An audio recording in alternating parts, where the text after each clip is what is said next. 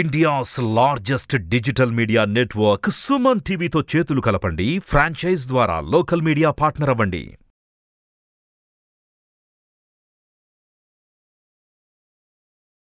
శ్రీమాత్రే నమ. జయ గురు దత్తాత్రేయ నమ.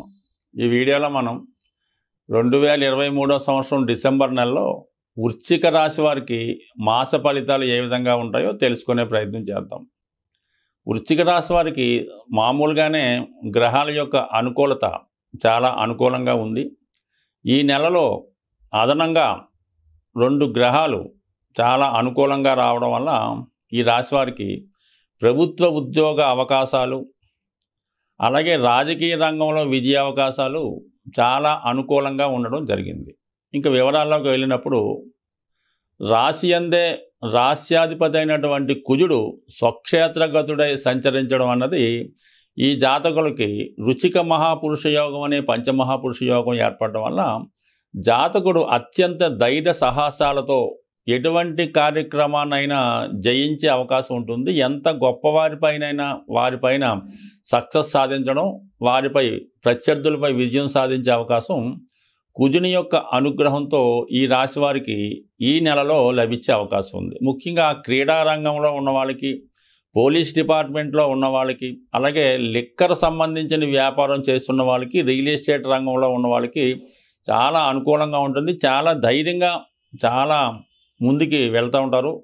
అలాగే రాజకీయ రంగంలో ఉన్న వాళ్ళకి కూడా వాళ్ళు వాళ్ళ స్థాయిని బట్టి విజయ అవకాశాలు ఈ నెలలో చాలా అనుకూలంగా ఉండడం జరిగింది. ఇంకా దానికి అదనంగా దశమాధిపతిగా ఉన్నటువంటి రవి కూడా లగ్నం అందే రాశి అందే సంచరిస్తున్నాడు.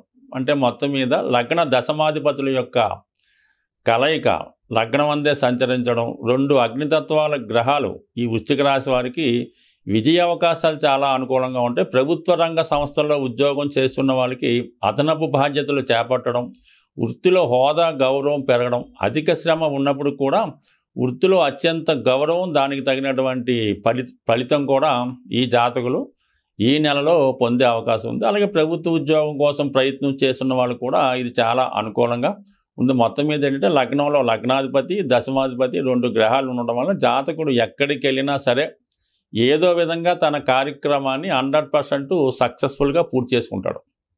ఇక ధనయోగాల కోసం పరిశీలించినప్పుడు ఇంకా లాభాధిపతిగా ఉన్నటువంటి బుధుడు ధనస్థానంలో ఒక ధనయోగాన్ని ఏర్పడడం జరిగింది. అంటే ఇక్కడ ధనస్థానం యాక్టివేట్ అవుతుంది. లాభాధిపతి కూడా ధనస్థానంలో ఉండడం వల్ల ధనం అంటే అన్నదమ్ముల ద్వారా స్నేహితుల ద్వారా బుధుడు వ్యాపార వర్గానికి కారణమవుతున్నట్టు వ్యాపార వర్గాల ద్వారా లేదంటే ఇతరులకి మీరు ఏమైనా హెల్ప్ చేయడం వల్ల మొత్తం మీద ఆర్థిక పరంగా ధనాదాయం కలుగుతుంది. ఇంకా ధనస్థానంలో ఉన్నటువంటి బుధుడు మీ కుటుంబ వ్యవహారాల్లో అనుకూలత ఏర్పడుతుంది. అలాగే కుటుంబ ఆదాయం వ్యాపార సంబంధించినటువంటి ఆదాయం కూడా కలుగుతూ ఉంటుంది. అలాగే మీ వాక్చాతుర్యంతో మీ తెలివితేటలతో ధనం సంపాదించే యోగం కూడా కలుగుతూ ఉంటుంది. అంటే మొత్తం మీద బుధుడు మల్టిపుల్గా రెండు రకాల ఆదాయాన్ని ఇస్తుంటాడు. సో అలా ఏదన్నా సరే బుధుడికి జూయాలిటీ కలిగి ఉంటాడు అనమాట ఏదన్నా అవకాశాలు వస్తే రెండు రకాల అవకాశాలు వస్తుంటాయి. అలాగే ఏదన్నా కొందాం అనుకున్నప్పుడు రెండు రకాల వస్తువులు మనకి కొనవలసి ఉంటుంటుంది. ఒకసారి అటువంటి కన్ఫ్యూజ్ కూడా రావడం జరుగుతుంటుంది. ఇప్పుడు ఇన్కమ్ స్థానంలో ధన స్థానంలో ఉన్నాడు కాబట్టి రెండు రకాలుగా ఆదాయం వచ్చే అవకాశం ఉంది. ఒకటేమో ఉద్యోగం ద్వారా అవచ్చు. రెండు అదనంగా ఏదైనా వ్యాపారం ద్వారా హౌస్ రెంట్సో భార్య ద్వారానో పిల్లల ద్వారానో మొత్తం మీద ఆదాయం అనుకూలంగా ఉన్నది. ఇక ధనాధిపతిగా ఉన్నటువంటి గురువు కూడా ఆరో స్థానంలో ఉండడం జరిగింది. ఒక విధంగా మరి ధనాధిపతి ఆరో స్థానంలో ఉన్నప్పుడు ఉద్యోగం ద్వారా శత్రువులపై విజయం ద్వారా ఆదాయం వచ్చే అవకాశం ఉంది. మొత్తం మీద వృత్తి సంబంధించిన వ్యవహారాల్లో ఈ రెండు గ్రహాలు కూడా చాలా అనుకూలంగా ఉండే అవకాశం ఉంది. ఇక దశమాధిపతి లగ్నంలో ఉండి ఇవన్నీ కూడా నూతన ఉద్యోగ ప్రయత్నాలు చేస్తున్న వారికి అనుకూలంగా ఉంటుంది. ప్రభుత్వ రంగ సంస్థల్లో వారికి అనుకూలంగా ఉంటుంది. మొత్తం మీద ఆర్థిక పరంగా చాలా అనుకూలంగా ఉంటుంది. అయితే నాలుగో స్థానంలో ఉన్నటువంటి శని భగవానుడు అర్ధాష్టమ శని ప్రభావం కొంతవరకు ఈ జాతకుల మీద మనసుకి కష్టం కలిగించే వార్తలు వినే అవకాశం ఉన్నది. అలాగే కొంతమందికి పరదేశ గమనం కానీ అలాగే వేరే ప్రాంతానికి మైగ్రేట్ అవ్వడం ఇలాంటి కొంత అనుకోని మార్పులు జాతకుడికి వచ్చే అవకాశాలు ఉన్నాయి. బట్ ఏదైనా కొద్దిగా మానసిక అశాంతి కలుగుతూ ఉంటుంది జాతకుడికి అర్ధాష్టమ శని ప్రభావం వల్ల. అయితే పంచమ స్థానంలో ఉన్నటువంటి రాహు కూడా కొంత కన్ఫ్యూజ్ చేస్తూ ఉంటాడు. అలాగే మీకు అత్యంత ఆత్మీయులైనటువంటి స్నేహితులు కానీ మిత్రులు కానీ ఏదో కారణం వల్ల దూరం అయ్యే అవకాశం ఉంటుంది. అలాగే ప్రేమికుల మధ్య కూడా అపోహల వల్ల కానీ ఇతరుల జోక్యం వల్ల కానీ టెంపరీగా విరోధం కానీ లేదంటే మొత్తం ఎఫైరే మొత్తం ప్రేమ వ్యవహారమే ఫెయిల్ అవ్వడం కానీ జరిగే అవకాశం ఉంది. లేదంటే మీరు ఇష్టపడిన వారికి వేరే విధంగా పెళ్ళి అవ్వడం అంటే మొత్తం మీద వాళ్ళకి అభివృద్ధి కలుగుతుంది వాళ్ళకి మంచి కలుగుతుంది.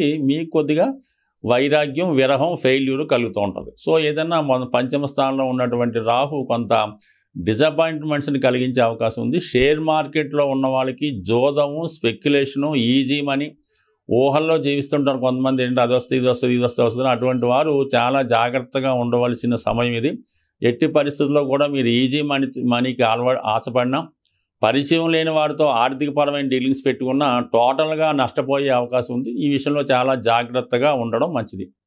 ఇక ఆరో స్థానంలో ఉన్నటువంటి గురుగ్రహ సంచారం దీర్ఘకాలిక వ్యాధులు ఉన్న వాళ్ళకి టెంపరీగా కొంత హెల్త్ పరంగా షుగర్ సంబంధించింది కానీ కంటికి సంబంధించిన కానీ అజీర్ణపరమైన వ్యాధులు వచ్చే అవకాశం ఉంది. బట్ అది తగ్గిపోతుంది కానీ మొత్తం మీద అటువంటి సమస్యలు ఈ నెలలో జాతకుడికి వచ్చే అవకాశం ఉంది. అత్యంత శుభగ్రహం పన్నెండో స్థానంలో ఉన్నటువంటి శుక్రగ్రహ సంచారం మీకు చాలా అంటే సప్తమాధిపతి వ్యయంలో ఉండడం వల్ల భార్యాభర్తల మధ్య ఏదో విధమైన ఎడబాటు వచ్చే అవకాశం ఉంది. దీ కారణంగా ఇతరుల యొక్క ఎంట్రన్స్ మీ జీవితంలో జరిగే అవకాశం ఉంది. ఇతరులతో పరిచయాలు పెంచుకునే అవకాశాలు కూడా ఈ సమయంలో ఉంటాయి కాబట్టి సాధ్యమైనంత వరకు ఎటువంటి ఎఫైర్స్ కానీ స్నేహాలు కానీ పెట్టుకోకుండా ఈ నెలలో జాగ్రత్తగా ఉండడం మంచిది. ఏ విధంగా అయినా సరే పంచమంలో ఉన్నటువంటి రాహు వేయిల్లో ఉన్నటువంటి శుక్రుడు మీతో అనవసరంగా డబ్బు ఖర్చు పెట్టించడం తద్వారా వచ్చే పరిణామాల ద్వారా ఆర్థిక పరంగా నష్టపోవడం బంధు విరోధాలు వైవాహిక జీవితంలో సమస్యలు వచ్చే అవకాశం ఉంది కాబట్టి ఎట్టి పరిస్థితుల్లో కూడా